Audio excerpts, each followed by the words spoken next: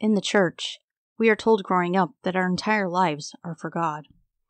If we obey Him and believe that Jesus is Lord over our lives, then we will go to heaven. Jesus took away all of our sin so that we could be with Him forever. As a Christian, I was told this is what we should want. God gave us this amazing life, and we should be eternally grateful that He gave it to us. Stepping outside of the church, I look at things very differently now. When Christians I know tell me that they long for the day to die so that they can be with Christ, I often wonder if they actually thought about 1. living forever, and 2. being a slave for all eternity. Many claim that being a slave to God forever is better than going to hell.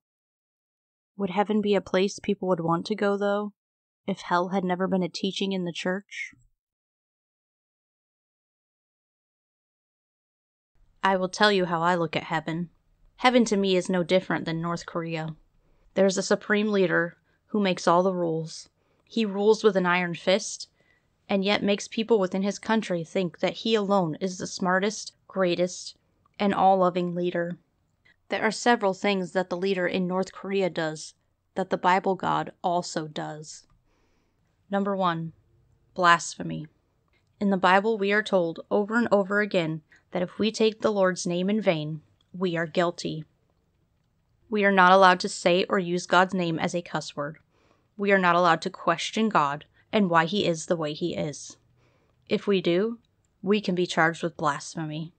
God's ego is so big that if you say one bad thing about Him or His name, He will be pissed. Sounds like God did not listen to His own book when He says to be slow to anger. The same law is in place in North Korea. Kim Jong un has made it illegal to say anything bad about him or his family. If you're caught saying such things, you can be locked up or executed. One woman who had a house fire was even punished for simply saving her own child instead of a picture of the former leader. The leaders of the nation are the highest authority, and they deserve the most respect because they alone give the people in North Korea what they need. Number two, you are stuck. According to the Bible, we are told there is no way out of heaven. From what I was taught in church, you are trapped there forever. You're going to be a slave to God for all eternity, and you cannot get away from it. No matter how boring or how horrible the place might be, God needs people in heaven to give Him praise and stroke His ego. There's even a gate in heaven. Heaven sounds like an eternal prison with a narcissistic God. North Korea is the same way. There's no way out. Once you are born there, the chances of you staying there is high. Escape is prohibited, and they tell you that if you try to escape, then you could be killed or put in a prison camp. The biggest deterrent of leaving, though, is the threat of your family suffering because you escape. If you leave North Korea and the government finds out, they can put not only your immediate family into a camp or kill them, they will also do it to your extended family. Generations of people locked up or killed just because they wanted freedom. Sins of the father, anyone? The leader of heaven and North Korea both are to be praised and thanked for everything people are given. We are told growing up in church, because God gave us life, we have a duty to worship Him, regardless of who He is. Although they tell you that God is perfect, so he deserves this worship. It's the same in North Korea. There's no religion or God. The leader, Kim Jong un, is God. He's the one who gives people everything they need. He's the one who keeps order. All the citizens of the country are only to worship and thank him for everything. Otherwise, you could be guilty and put into a camp or killed. It's an interesting idea to me that many Americans want this. They want Jesus to come back, take all the Christians to heaven, and throw all the atheists, agnostics, and all the other religions into hell. America, the same people who claim they want freedom, and that no one has the right to tell them what to do.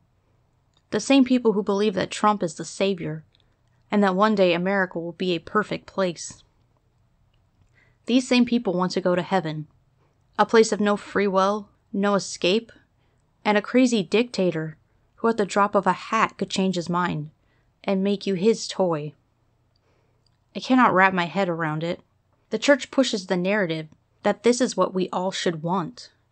We should want to give up everything just to live eternally. Is living eternally worth it, though? If there's nothing more to learn, nothing more to do, if there's nothing left to discuss, what would make you want to live more? Alright, spoilers ahead. I often think about the show The Good Place. The show is about people who think that they go to heaven when they are really in hell. Once they realize this, they devise a plan to have a redo because the system that was set up for people to go to heaven and hell is rigged. They want a fair way for everyone to get where they want to be. By the end, though, they realize there comes a time when everyone just wants it to be over. They want to make the decision to leave and no longer exist anymore. While this was the end of the characters and their lives, this shows how important our lives are here.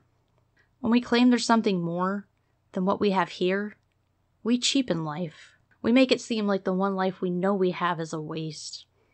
Because we all get a second chance. So who cares about this life? This is a problem. If we all only have one life, then we're missing out on so much life that we could have had. People do not need to live forever to make their lives worth something. I know now that I believe this is all the time that I have, and that makes my time more valuable.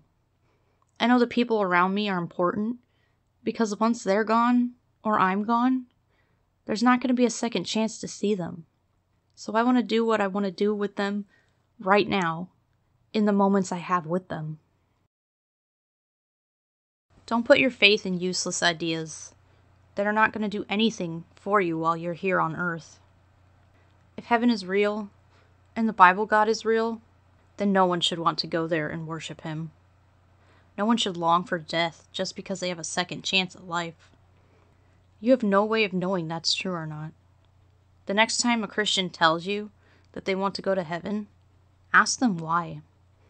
Help them see that heaven is not what the church claims it to be. Ask them if they want to live in North Korea for all eternity. And if their answer is no, then they do not have a true idea of what they are facing, if the religion that they are following is indeed true. Hey friends, thanks for watching my video.